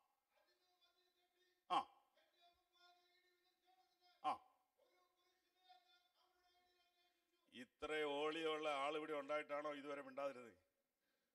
കൈകൾ ഉയർത്തിയൊരു അല്ലേലിയോ പറഞ്ഞാട്ടെ? സ്തോത്രം ഞാൻ ദേശത്തെ നശിപ്പിക്കാതെ വണ്ണം. അതിന് മതിൽ കെട്ടി എന്റെ മുമ്പിൽ ഇടിവിൽ നിൽപ്പാൻ. നിങ്ങൾക്ക് ഇതിന്റെ അർത്ഥം മനസ്സിലാകുന്നുണ്ടോ പ്രിയപ്പെട്ടവരെ? എനിക്ക് വേദവസ്വത്തോട് ഭയങ്കര സ്നേഹ. ഇത് മലയാളത്തിലൊന്നും അല്ല ആദ്യം എഴുതിയത്. എത്ര ഭാഷ കഴിഞ്ഞാൽ ഇത് നമ്മുടെ ഈ വന്നേ? ഇതിനു വേണ്ടി കഷ്ടപ്പെട്ട് മരിച്ചുപോയ മനുഷ്യരുണ്ട്. അവരെയെങ്കിലും ഓർത്തിട്ട് ഇത് വായിക്കണം. ഞാൻ പറയുന്നത് മനസ്സിലാകുന്നുണ്ടോ? ഇത് ചുമ്മാ തൊട്ടു വന്നിക്കാനും കണ്ണടച്ചിരുന്നുകൊണ്ട് സ്വതന്ത്രം പറയാനും ആണെങ്കിൽ ഇത് ഗ്രീക്കിൽ തന്നെ ഇരുന്നാൽ മതിയായിരുന്നല്ലോ. ഞാൻ പറയുന്നത് മനസ്സിലാവുന്നുണ്ടോ ഗ്രീക്കിൽ ഇരുന്നാ പോരെ. ഇങ്ങനെ തൊട്ടിട്ട് ഉമ്മ കൊടുത്താ പോരെ. ഇത് എന്തിനാ തർജമ ചെയ്തത് എന്തിനാ? നിന്റെ തലയ്ക്കകത്തോട്ട് ഇത് കേറാനാ. നിന്റെ ഹൃദയത്തിനകത്ത് ഇത് ക്രിയ ചെയ്യാനാ. ഇത് ജീവനായി വ്യാപരിക്കാനാ. ഇത് വിഴുതലായി നിന്റെ അകത്ത് കത്താനാ. ഇത് എഴുതി തന്നത് ജീസസ് നമ്മുടെ സോഫ്റ്റ്വെയർ മാറണം. നെഗറ്റീവ് ചിന്തകൾ ശാപത്തിന്റെ ചിന്തകൾ ലോകത്തിന്റെ ചിന്തകൾ ഡിലീറ്റ് ചെയ്തിട്ട് വചനത്തിന്റെ ചിന്ത നിന്റെ അകത്ത് നിറയ്ക്കണം.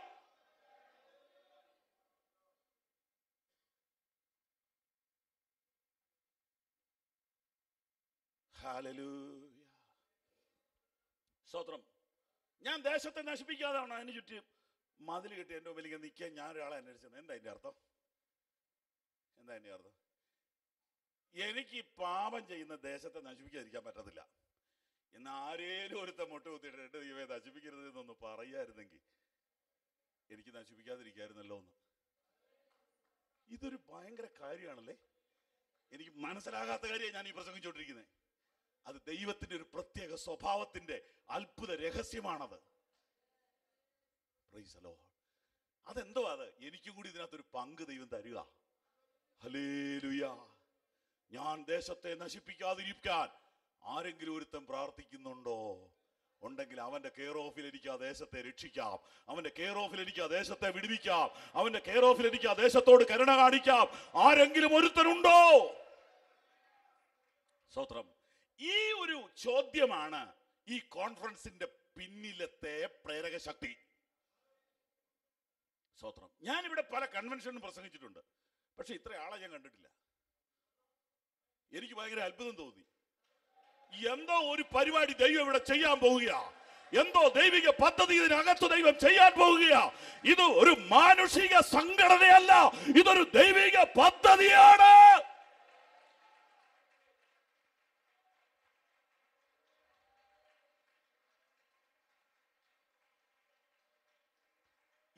അഞ്ച് കൊല്ലമായി ഞാൻ പ്രേയറിനെ കുറിച്ച് പഠിപ്പിക്കുന്നുണ്ട്.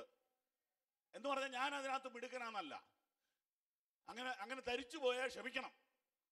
എനിക്കിത് പഠിക്കാനുള്ള ആഗ്രഹം കൊണ്ടായി പഠിപ്പിക്കുന്നത് അതാ ഇതിനകത്ത് യഥാർത്ഥ സത്യം. ഇത് കൂടുതൽ പറഞ്ഞുകൊണ്ടിരുന്നാൽ നമുക്ക് പഠിക്കാവില്ലെന്ന് ഓർത്തിട്ടാ. സ്തോത്രം. അങ്ങനെ ഇത് പഠിച്ചു പഠിച്ചു വന്നപ്പോ ഇതൊക്കെ എഴുതാന്ന് വെച്ചു. അങ്ങനെ അതൊരു ഒരു ഒരു ഭാഗം എഴുതി പുസ്തകമാക്കി ഇവിടെ കൊണ്ടുവന്ന അത്രയും തീർന്നു. ഇനി വേണ്ടൊരു നാട്ടിൽ അന്വേഷിച്ചാൽ കിട്ടും. നമുക്ക് ഒരുപാട് സാധനം ഈ കൊണ്ടുവരാവുന്ന വണ്ടിയിലല്ലോ നമ്മൾ വരുന്നത് സോദരം.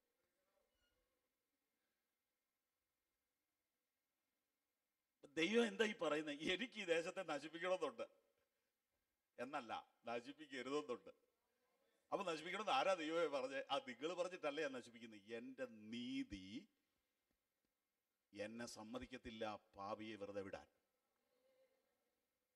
പക്ഷെ എന്റെ സ്നേഹം പറയുക ആരെങ്കിലും ഒരുവൻ ഇടിവിൽ നിൽക്കാമെങ്കിൽ ആരെങ്കിലും ഒരുവൻ ഇടിവിൽ നിൽക്കാമെങ്കിൽ ആരെങ്കിലും ഒരുവൻ ഇടിവിൽ നിൽക്കാമെങ്കിൽ ആരെങ്കിലും ഒരുവൻ ഇടിവിൽ നിൽക്കാമെങ്കിൽ ഞാൻ എന്റെ നിയമം ഞാൻ എന്റെ തീരുമാനം മാറ്റാം ഞാൻ എന്റെ പദ്ധതി പൊളിക്കാം. ഇതിങ്ങനെ പ്രസംഗിച്ചു പോകാനല്ല.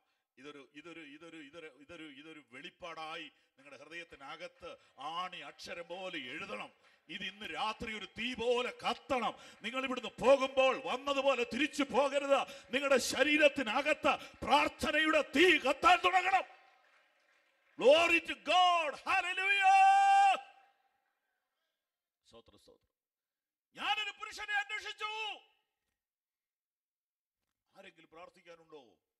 അപ്പോൾ നമ്മുടെ ലെസൺ രണ്ടാമത്തെ ലെസൺ ദൈവത്തിന് നീതി ഉണ്ട് ദൈവത്തിന് സ്നേഹവുമുണ്ട് ഇതിൽ ഒന്നും ദൈവത്തിന് കളയാൻ പറ്റത്തില്ല. എന്തുകൊണ്ട് കളയാൻ പറ്റത്തില്ല? ബൈബിളിൽ എഴുതിയിരിക്കുന്നു തന്റെ സ്വഭാവം ത്യജിപ്പാൻ അവന് കഴിയില്ല. സർവശക്തനായ ദൈവത്തിന് കഴിയാത്ത കാര്യമുണ്ട് ഒന്നുകൂടെ പറയാം. സർവശക്തൻ എന്ന് പറഞ്ഞാൽ എല്ലാം കഴിയുന്നവനെന്നാ. പക്ഷെ സർവശക്തനായ ദൈവത്തിന് കഴിയാത്ത കാര്യമുണ്ട് അതിലൊന്നാ തന്റെ സ്വഭാവം ത്യജിപ്പാൻ അവന് കഴിയുകയില്ല. വാക്ക് മാറാൻ അവന് കഴിയുകയില്ല. നമ്മൾ പറയുന്നതിനാണെന്നറിയോ വാക്കല്ലേ മാറാൻ പറ്റുള്ളൂ. ദൈവം പറയുന്നത് കൈ വേണേ മാറ്റാം കാൽ വേണേ മാറ്റാം ഞാൻ വേറെ വെച്ച് തരാം. പക്ഷെ വാക്ക് എനിക്ക് മാറാൻ ഒക്കുകയില്ല. കാരണം എന്റെ വാക്കിനാൽ ഉളവായ ഭൂമിയിലാണ് നീ നിൽക്കുന്നേ. ദൈവത്തിന് വാക്ക് മാറാൻ പറ്റില്ല. ദൈവത്തിന് തന്റെ സ്വഭാവം ത്യജിപ്പാൻ കഴിയില്ല. അവന്റെ നീതിയിൽ അവന് വിട്ടുവീഴ്ച ചെയ്യാൻ പറ്റില്ല. അവന്റെ സ്നേഹത്തിൽ മായം ചേർക്കാൻ അവന് പറ്റില്ല. ഇതാണ് കാൽവറിയുടെ രഹസ്യം. ഇതാണ് സുവിശേഷത്തിന്റെ രഹസ്യം. ഇതാണ് മധ്യസ്ഥ പ്രാർത്ഥനയുടെ രഹസ്യം. പാപിക്കും പരിശുദ്ധനും ഇടയിൽ യേശു മധ്യസ്ഥനായി. ഇനിയും പറഞ്ഞ് ശ്രദ്ധിച്ച് കേട്ടോണം. ദുരുപദേശമാണെന്ന് തോന്നിപ്പോവും. അതേ സ്ഥാനത്തേക്ക് മധ്യസ്ഥ പ്രാർത്ഥനക്കാരനെ ദൈവം കയറ്റുക. പാപിക്കും പരിശുദ്ധനും ഇടയിൽ മധ്യസ്ഥനായ യേശു വന്നു. മധ്യസ്ഥ പ്രാർത്ഥനക്കാരനിലൂടെ ദൈവം ഉദ്ദേശിക്കുന്ന എന്തുവാ? ഈ ജനത്തിനും ദൈവത്തിനും ഇടയിൽ നിൽക്കുക എന്നതാ. എത്ര ശ്രേഷ്ഠമായ ശുശ്രൂഷയാ മധ്യസ്ഥ പ്രാർത്ഥന. സ്തോത്രം. എനിക്കൊരു പ്രസംഗികനാകണം എന്ന് ആഗ്രഹിക്കാത്ത ഒരു കുറവാ. പക്ഷെ എനിക്കൊരു പ്രാർത്ഥനാ മനുഷ്യനാകണം എന്ന് ആഗ്രഹിക്കുന്ന എത്ര പേരുണ്ട്? യഥാർത്ഥത്തിൽ കൊതിക്കുന്ന എത്ര പേരുണ്ട്? എന്റെ പ്രാർത്ഥന അവർ എന്റെ പ്രാർത്ഥന മണിക്കൂർ കൂട്ടണമെന്ന് ആഗ്രഹിക്കുന്ന എത്ര പേരുണ്ട്? പ്രാർത്ഥനയിലെ ബോറിംഗ് ഒന്ന് മാറ്റി കിട്ടണം. പ്രാർത്ഥനയിൽ എനിക്കൊരു സക്സസ്ഫുൾ പ്രേയർ എനിക്ക് നടത്താൻ കഴിയണം. എന്റെ പ്രാർത്ഥനാ ജീവിതം ഇടിഞ്ഞു കിടക്കുന്നത് എനിക്കൊന്ന് പണിയണം. എനിക്ക് പ്രാർത്ഥനാ ജീവിതത്തിൽ ഒന്ന് ഉണരണം. എനിക്ക് കുറെ കൂടെ പ്രാർത്ഥിക്കുന്നവനാകണം. എന്ന് ആഗ്രഹിക്കുന്നവരുണ്ടോ ഈ കൂട്ടത്തിൽ? കൈയൊന്ന് ഉയർത്തി പിടിക്കാമോ? ഹല്ലേലൂയ. നിങ്ങളെ പോലെ തന്നെ ഞാനും കൈ ഉയർത്തി പിടിച്ചിരിക്കുക. നിങ്ങൾ കൈ ഉയർത്താൻ വേണ്ടിയല്ല എന്റെ ആഗ്രഹമാണത്. കുറച്ചുകൂടെ പ്രാർത്ഥനയിൽ മുന്നേറണം. കുറെ കൂടെ പ്രാർത്ഥനയിൽ മുന്നേറണം. കുറെ കൂടെ പ്രാർത്ഥനയിൽ മുന്നേറണം.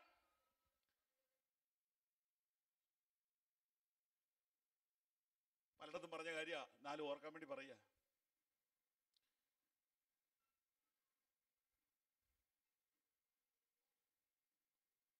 ഒരു മനുഷ്യൻ എന്റെ അടുത്ത് പരാതിയായിട്ട് വന്നതാ. പരാതിയായിട്ട് വന്ന ഞാൻ മൂന്ന് ദിവസം ആ യോഗത്തിന് പോയി. എനിക്ക് പ്രാർത്ഥിക്കാൻ ഒരു സമയം തന്നില്ല.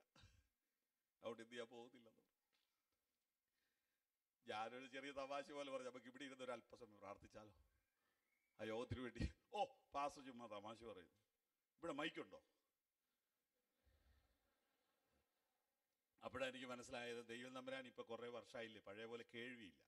മൈക്കി കൂടെ പ്രാർത്ഥിച്ചാൽ പെട്ടെന്ന് കേൾക്കും. മൈക്കിൽ കൂടി ഒന്നും പ്രാർത്ഥിച്ച ദൈവം കേൾക്കുകയല്ല ചുമ്മാ. നമുക്കൊരു അക്കോമഡേഷൻ എന്നുള്ളതേ ഉള്ളൂ ഇത്. ആലുവായി നിന്ന് വന്ന കർത്തൃദാസനും പിന്നെ കൊങ്ങാണ്ടൂരിൽ നിന്ന് വന്ന വിലയേറിയ ദാസനും പ്രാർത്ഥിക്കുമെന്ന് പറയുന്ന ഒരു അക്കോമഡേഷൻ എന്നുള്ളതേ ഉള്ളൂ. ഇതിൽ വലിയ കഥയൊന്നുമില്ല. അതിനു മുമ്പ് വല്ലവരും കരഞ്ഞിട്ടുണ്ട് യോഗ അനുഗ്രഹിക്കപ്പെടും. ഉള്ള സത്യം അല്ലാതെ വല്ലതും പറയാൻ പറ്റുമോ യോഗത്തിന്റെ നോട്ടീസ് അടിക്കുന്നതിന് മുമ്പ് അകത്തളങ്ങളിൽ മുട്ടുകുത്തി കണ്ണുനീരൊഴിക്കവരുണ്ടെങ്കിൽ ആ യോഗം അനുഗ്രഹിക്കപ്പെടും.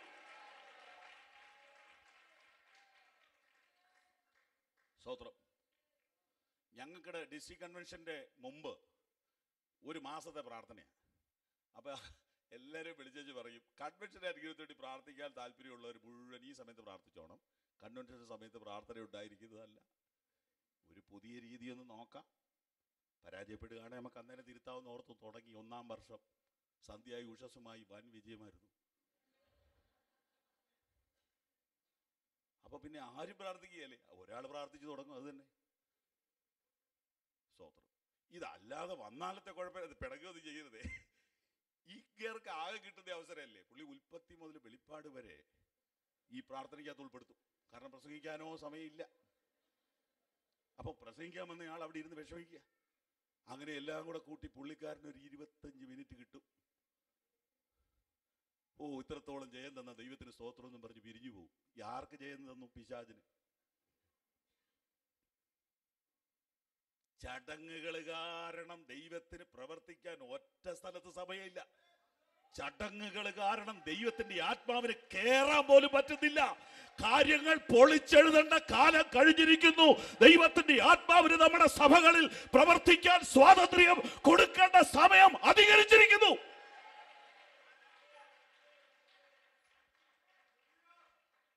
ഫോർമാലിറ്റീസ് ആൾക്കാരെ ആദരിക്കൽ അനുമോദിക്കൽ അനുശോചനം അനുമോദനം എല്ലാം കഴിഞ്ഞ് പരിശുദ്ധാത്മാവ് ദുഃഖിക്കുന്നു. ഞാൻ വലിയ കോൺഫറൻസുകളിൽ പങ്കെടുക്കാൻ പോയി. ഞാൻ അവിടെ ഇരുന്ന് കരഞ്ഞിട്ടുണ്ട്. എനിക്ക് സമയം കിട്ടാഞ്ഞിട്ടല്ല. നോ എനിക്ക് സമയമേ വേണ്ട. എനിക്ക് കിട്ടി. ഇപ്പോഴൊരു കോൺഫറൻസ് കഴിഞ്ഞു വരിക. ദൈവത്തിന് കൃപയാൽ ഇഷ്ടംപോലെ സമയം കിട്ടി. ഇത് ഇതിനു മുമ്പ് ഞാൻ കണ്ടു. വളരെ വിലപ്പെട്ട ആളുകൾ ഇരിക്കുമ്പോൾ ഒരാളെ പരിചയപ്പെടുത്താൻ വേണ്ടി വേറൊരാളെ കൊണ്ടുവരിക. ഒരാളെ പരിചയപ്പെടുത്താൻ വേണ്ടി വേറൊരാളെ കൊണ്ടുവരിക. ആ പുള്ളിയെ പരിചയപ്പെടുത്താൻ വേറൊരാൾ. അയ്യോ.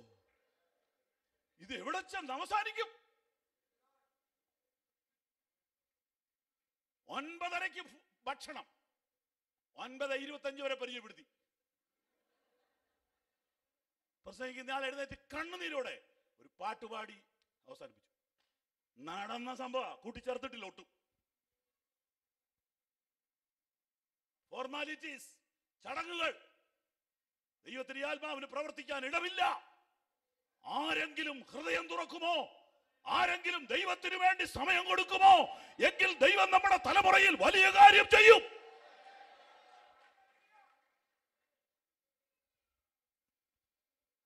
താങ്ക് യു ജീസസ് അവൻ മധ്യസ്ഥരെ തിരയുന്നു. അവൻ മധ്യസ്ഥരെ തിരയുന്നു.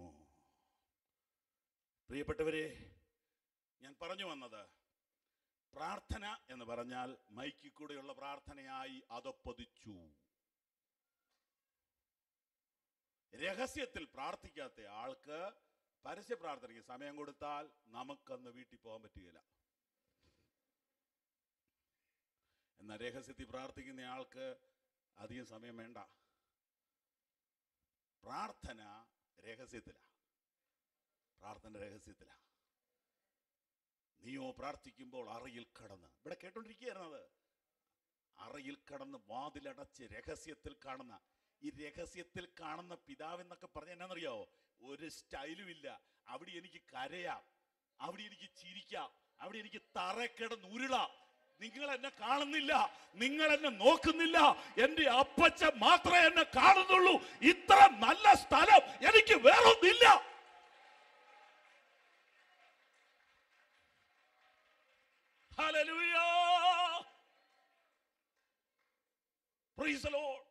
എനിക്ക് അവിടെ ഷർട്ട് ഉടയുമെന്നുള്ള പ്രശ്നമില്ല.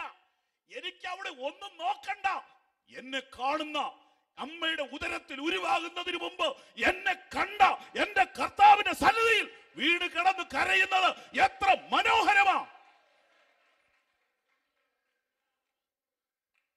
രക്തം ജയം. മധ്യസ്ഥ പ്രാർത്ഥന എന്ന് പറയുന്നത് ചെറിയ കാര്യമല്ല. ചെറിയ കാര്യമല്ല. അവൻ മധ്യസ്ഥരെ തിരയുന്നു. അവൻ മധ്യസ്ഥരെ തിരയുന്നു. അവൻ മധ്യസ്ഥരെ തിരയുന്നു. സ്തോത്രം എന്തുകൊണ്ട് അവന് പാപത്തോട് കണ്ണടയ്ക്കാൻ കഴിയുകയില്ല? അവന് പാപിയെ ശിക്ഷിക്കാനും കഴിയുകയില്ല. അതുകൊണ്ട് അവൻ മധ്യസ്ഥരെ തിരയുന്നു. സ്തോത്രം സ്തോത്രം നിങ്ങൾ നിങ്ങളുടെ കുടുംബാംഗങ്ങൾക്ക് വേണ്ടി ഇടിയിൽ നിൽക്ക- നിൽക്കാമെങ്കിൽ അവരെ ദൈവം ഏതെങ്കിലും വഴിക്ക് ചുറ്റിക്കറക്കി കൃപയിൽ കൊണ്ടുവരും. നിങ്ങൾ നിങ്ങളുടെ ദേശത്തിന് വേണ്ടി ഇടിവിൽ നിൽക്കാമെങ്കിൽ ദൈവം ഏതെങ്കിലും ചില മുഖാന്തരങ്ങൾ ഉണ്ടാക്കി ദേശത്ത് ദൈവം അത്ഭുതം ചെയ്യും. അവർ മുഴുവനും നിങ്ങൾ ഉൾപ്പെട്ട് നിൽക്കുന്ന സഭയിൽ വരണം എന്ന് വാശി പിടിക്കരുത്. അനുഭവത്തിൽ നിന്ന് ചില സത്യങ്ങൾ പറയുക. അവർ മുഴുവനും നിങ്ങൾ ഉൾപ്പെട്ട് നിൽക്കുന്ന സംഘടനയിൽ വരണമെന്ന് വാശി പിടിക്കരുത്. അവർ വിഗ്രഹങ്ങളെ ഉപേക്ഷിക്കണം. അവർ ദൈവത്തെങ്കിലേക്ക് തിരിയണം. അവർ അന്ധാചാരങ്ങളെ വിടണം. അവർ അന്ധവിശ്വാസങ്ങളെ വിടണം. യേശു മാത്രം കർത്താവെന്ന് വായു കൊണ്ട് ഏറ്റുപറയുന്ന അവസ്ഥയിലേക്ക് ദൈവം അവരെ മാറ്റാൻ വേണ്ടി മാത്രം ഇടിവിൽ നിൽക്കുക. Praise to Jesus.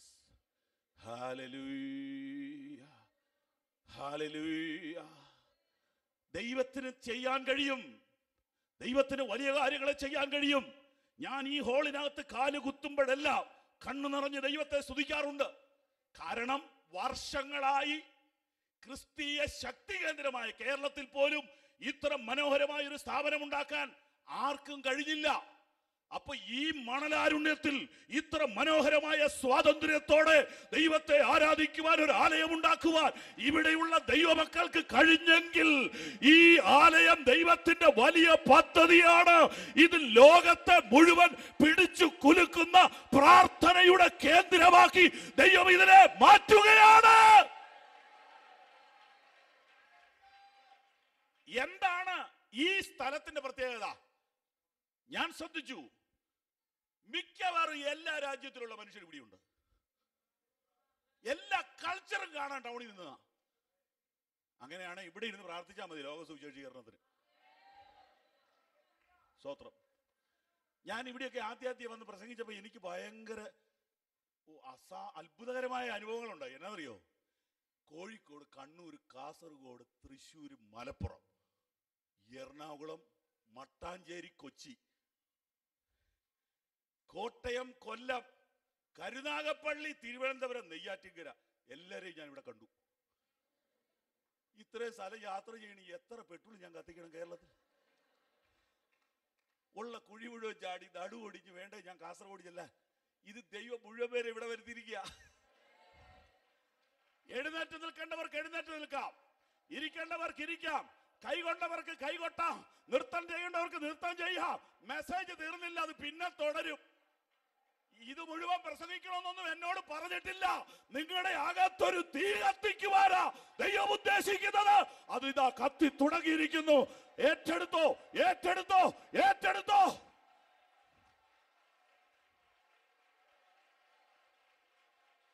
ശക്തിയോടെ വായ തുറന്ന് അന്യഭാഷയിൽ ദൈവത്തെ ആരാധിക്ക്. നിർത്തണ്ട നിർത്തണ്ട. ഇന്ന് സമയപരിധി ഇല്ല.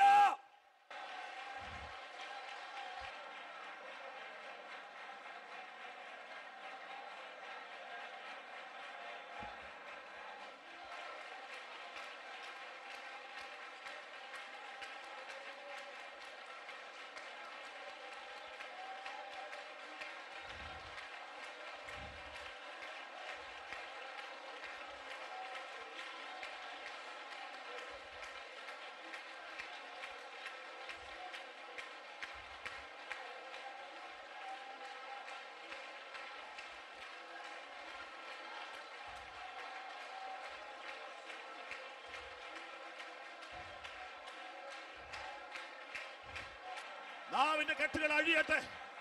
യേശുവിന്റെ നാമത്തിൽ ദുഷ്ടൻ വിതച്ച കളകൾ കരിഞ്ഞു പോകട്ടെ.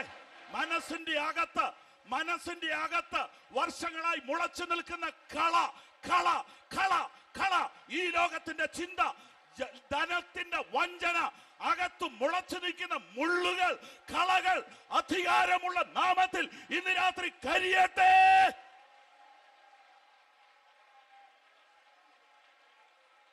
മധ്യസ്ഥ പ്രാർത്ഥനയുടെ അഭിഷേകം ഇന്ന് രാത്രി പ്രാപിച്ചോ? പ്രാർത്ഥനയുടെ ആത്മാവിനെ പ്രാപിച്ചോ?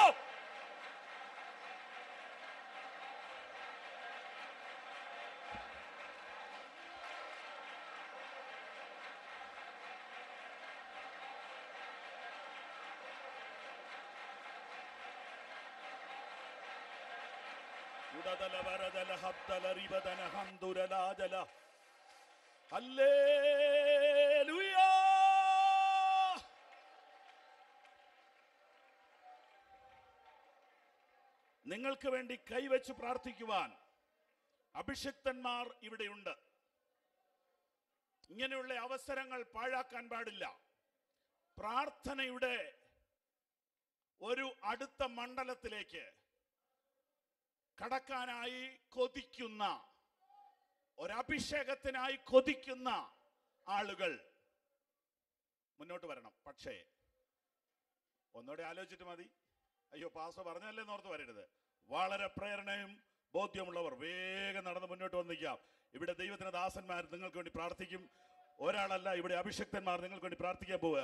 കൊയർ മുന്നോട്ട് വന്ന് വർഷിപ്പ് ലീഡ് ചെയ്യും ആ സമയത്ത് ഇവിടെ പ്രേയർ നടന്നുകൊണ്ടിരിക്കും. ഇവിടെ നിരന്ന് നിൽക്കാം hallelujah hallelujah hallelujah hallelujah pastor Biji Anchal പ്രാർത്ഥനയ്ക്കായി വന്നാണ് പ്രാർത്ഥിച്ചാട്ട്. പ്രാർത്ഥിച്ചാട്ട്. Praise Lord O Jesus hallelujah hallelujah hallelujah hallelujah ദർശിപ്പാനീവൻ ഭാരത്തെയും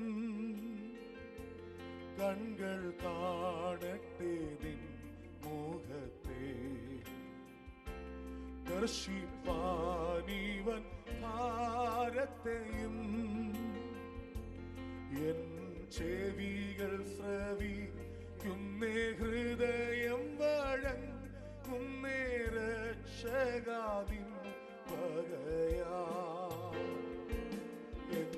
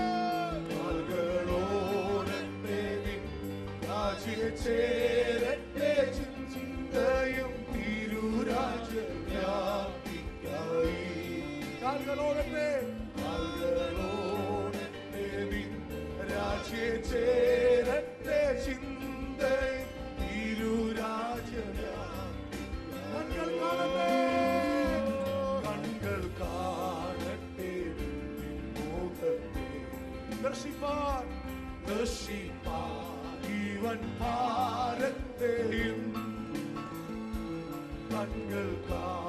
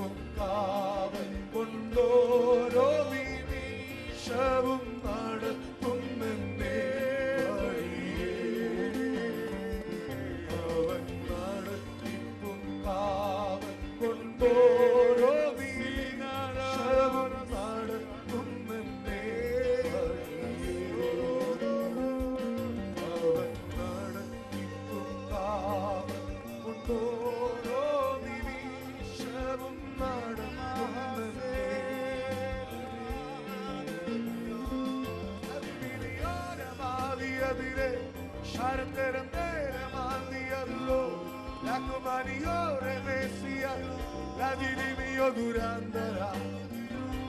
Sharmera mera madia, la kumorio remandere. Şiriminio kuma siriyanda maduro. Şirimaniye remandere, şurmaniyo remandara. Diga para vera ma, la kumorio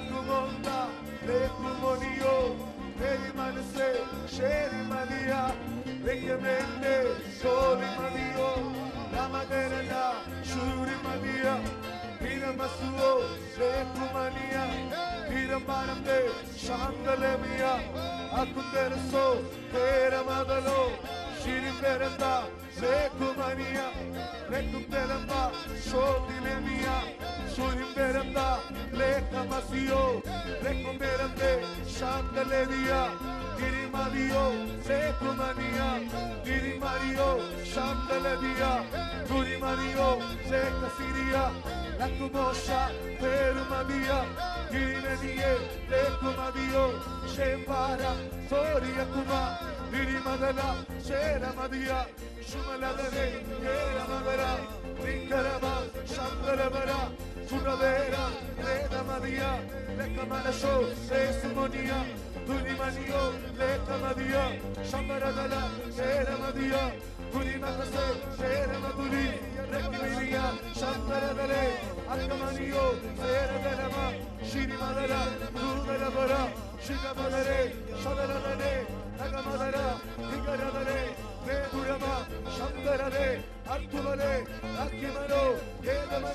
Girande, Gerardo, el cantar.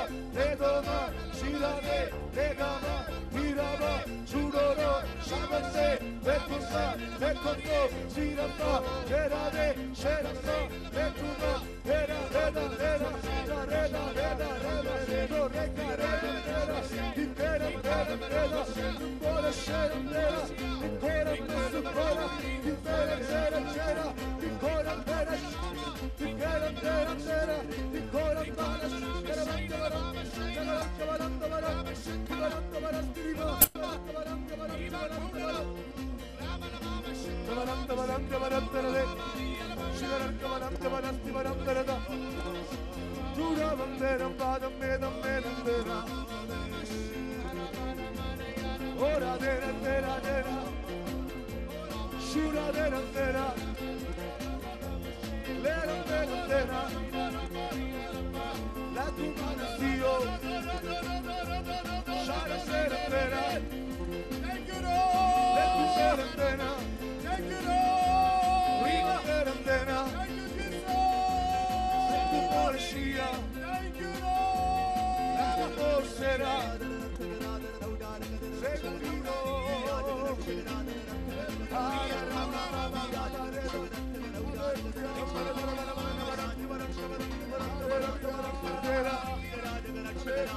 I'm not going to be able to get out of the way. I'm not going to be able to get out of the way.